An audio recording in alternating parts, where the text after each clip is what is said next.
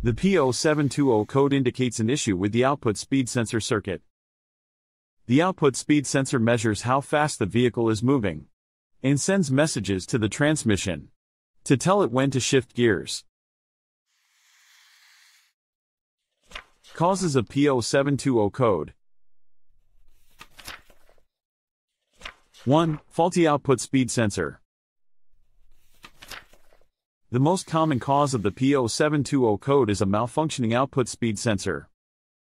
The sensor may be damaged, worn out, or experiencing an electrical issue. 2. Faulty wiring or connectors. The wiring and connectors in the output speed sensor circuit may be damaged, corroded, or disconnected.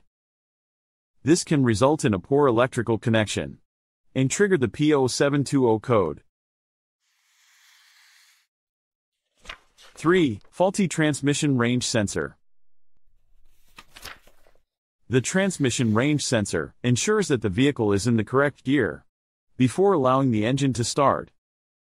A faulty transmission range sensor can affect the proper functioning of the output speed sensor and leads to the P0720 code. 4. Faulty transmission control module. The transmission control module is responsible for controlling various aspects of the transmission, including communication with sensors like the output speed sensor. If the transmission control module is malfunctioning, it may misread signals or fail to communicate effectively, leading to the P0720 code. 5. Low transmission fluid level. Transmission fluid is crucial for the proper operation of the transmission and its components, including the output speed sensor. Low fluid levels can affect sensor readings and trigger the P0720 code. 6. Internal transmission issues. Problems within the transmission, such as a damaged or slipping clutch, can impact the accuracy of the output speed sensor readings. Internal issues can lead to abnormal sensor data in the activation of the P0720 code.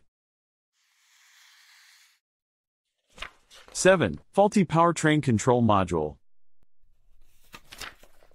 A bad PCM can potentially cause the P0720 code. The PCM is responsible for processing sensor data and controlling various engine and transmission functions. If the PCM is faulty, it may misinterpret signals from the output speed sensor and trigger the code.